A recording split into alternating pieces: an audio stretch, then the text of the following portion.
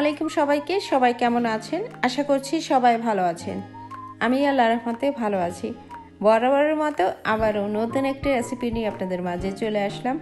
আশা করছি আজকের এই রেসিপিটি আপনাদের অনেক ভালো লাগবে। শীত এখনও আছে। আর এই শীতে এই রেসিপিটি করে দেখুন। সবাই পছন্দ করবে। আজ বানিয়ে দেখাবো মালাই কেক। সবার পছন্দ হবে ছোট, বড়। চেষ্টা করবেন আমি যেভাবে তৈরি করেছি, ঠিক সেভাবে করার জন্য দেখবেন সবাই পছন্দ করবে। চলুন সরাসরি রেসিপিতে চলে যাই। প্রথমে আমি একটি বোল নিয়েছি আর একটি চালনি নিয়েছি। ময়দাটা চেলে দিতে হবে।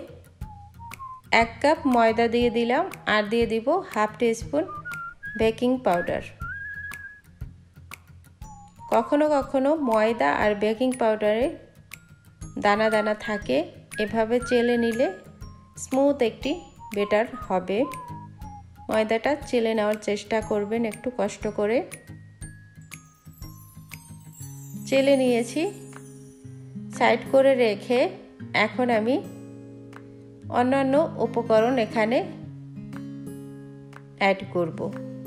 প্রথমে একটি ডিম ভেঙে দিলাম, আর দিয়ে দিলাম হাফ কাপ সুজি। এবার এক কাপ মিষ্টির শিরা সেটা দিয়ে দিলাম। আপনারা নর্মাল চিনি একটু মেল্ট করে নিতে পারেন।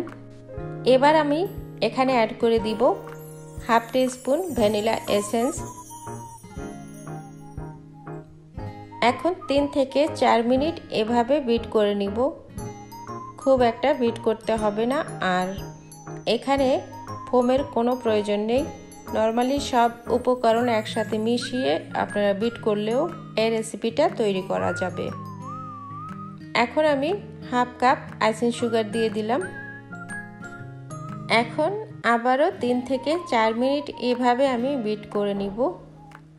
সব কিছুই মেল্ট হয়ে গিয়েছে। এখন আলাদা করে রাখা যে ময়দাটা ছিল সেটা আমি অল্প অল্প করে এখানে অ্যাড করব আর বিট করতে থাকব। এই রেসিপি আপনি সরাসরি বিট করে নিতে পারবেন। যখন আমরা কেকের বেসটা তৈরি করি নর্মালি ফোমের প্রয়োজন হয়। এটা ফোমের কোনো প্রয়োজন নেই। সরাসরি এভাবে বিট করে নেওয়া যাবে। বেটারটা তৈরি হয়ে গিয়েছে। এবার আমি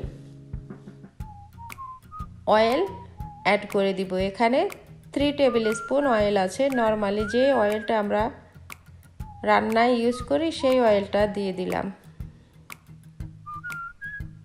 আবারও দুই থেকে তিন মিনিট এভাবে বিট করে দিচ্ছি পারফেক্ট একটি বেটার তৈরি করে নিয়েছি। এভাবে করে নিতে হবে। এখন সরাসরি আমি চুলায় চলে যাব স্টিম করার জন্য। একটি প্যানে আমি ওয়ান লিটারের মতো পানি দিয়ে দিয়েছি আর একটা স্ট্যান্ড বসিয়ে দিয়েছি। এখানে একটি মোল্ড নিয়েছি। পুরোটাই ঢেলে দিলাম।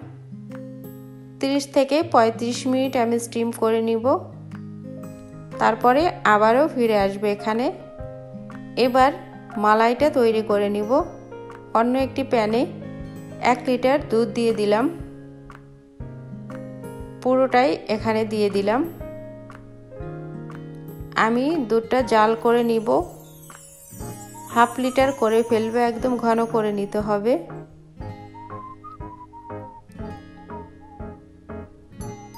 ঘন করে অর্ধেক করে ফেলেছি।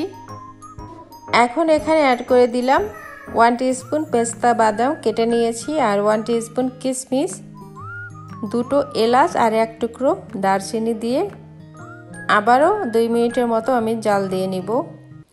মালাইটা ঘন করার জন্য আরও কিছু উপকরণ এখানে অ্যাড করব। এখানে টু টেবিল স্পুন আমি পাউডার মিল্ক দিয়ে দিলাম। টু টেবিল স্পুন দিয়ে দিলাম আইসিং সুগার আর দিয়ে দিব হাফ টি স্পুন কর্নফ্লোর। এটা সরাসরি দুধে দেওয়া যাবে না। হাফ কাপ পানি দিয়ে আমি গুলিয়ে নিব। ভালো করে একটু গুলিয়ে নিতে হবে। এখানে আরও সামান্য পরিমাণের আমি জাফরান দিয়ে দিলাম। ফ্লেভারটাও ভালো আসবে, হালকা একটু কালারও চলে আসবে।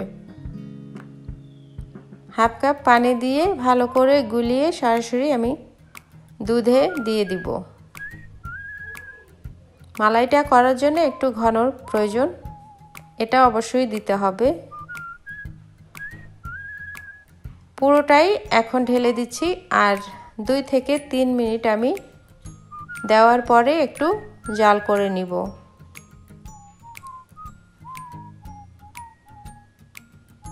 তারপরে কেকটা উঠিয়ে নিচ্ছি। কেকটা উঠিয়ে আমি কেটে নিব উপরের অংশটা। উপরের অংশটা ফেটে গিয়েছে। এবার একটু কেটে নিতে হবে। কেটে নিয়ে আলাদা করে রাখব। এটা ইচ্ছে করলে পরে আপনি দুধে দিতে পারবেন। ওপরের অংশটা কেটে আলাদা করে নিচ্ছি। এবার একটি নাইপের সাহায্যে এভাবে করে নিতে হবে, যেহেতু দুধে ভিজাবো। দুধটা যাতে ভিতরে যায়। পুরোটা দুধ আমি এখানে ঢেলে দিলাম। যখন আমি এটা কেটে ফ্রিজে রাখব, এই মিল্কটা অনেকটাই ঘন হয়ে যাবে। এখন কিছু বাদাম এখানে কেটে আমি রেখেছিলাম, সেটা দিয়ে দিলাম। আরও কিছু চেরি উপর থেকে কেটে আমি দিয়ে দিব। এভাবে করে দিতে পারেন। আশা করছি আজকের এই মালাই কেকটি আপনাদের ভালো লাগবে। ভালো লাগলে এভাবে ট্রাই করতে পারেন। খুব একটা উপকরণ এখানে লাগে না, তবে টেস্ট দারুণ হয় ট্রাই করে দেখতে পারেন। আশা করছি ভালো লাগবে। ভালো লাগলে অবশ্যই আমার চ্যানেলটি সাবস্ক্রাইব করে আমার পাশে থাকবেন। এখন কেটে আমি এভাবে টুকরো টুকরো করে পুরোটা দুধে ছড়িয়ে দিব। আর তখন কিন্তু খুব একটা দুধ এভাবে পাতলা থাকবে না। ঘন হয়ে যাবে। একবার হলেও ট্রাই করে দেখতে পারেন। আশা করছি ভালো লাগবে। ভালো লাগলে অবশ্যই আমার চ্যানেলটি সাবস্ক্রাইব করে আমার পাশে থাকবেন। আজকের মতো বিদায় নিচ্ছি। আবার নতুন কোনো রেসিপি নিয়ে আপনাদের মাঝে চলে আসব। সেই পর্যন্ত সবাই ভালো থাকবেন। আল্লাহ হাফেজ।